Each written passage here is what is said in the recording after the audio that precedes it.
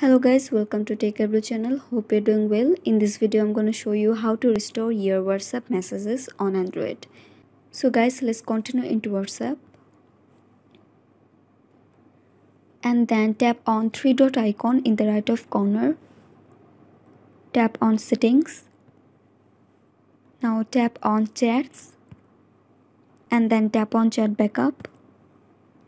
And then tap on backup to google drive and press it daily. Now tap on Google account and select your Gmail account so that you can get your backups in your Gmail. Now tap on backup using cellular and then tap on include videos. And last tap on backup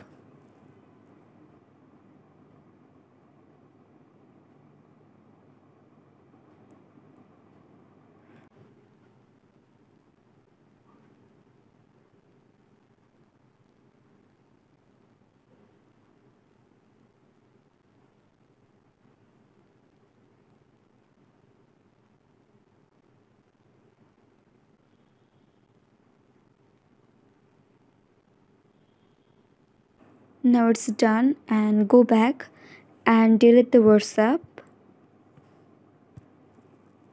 so guys i am deleting my whatsapp again i installing it. So after installing and when this page comes up then tap on the restore button.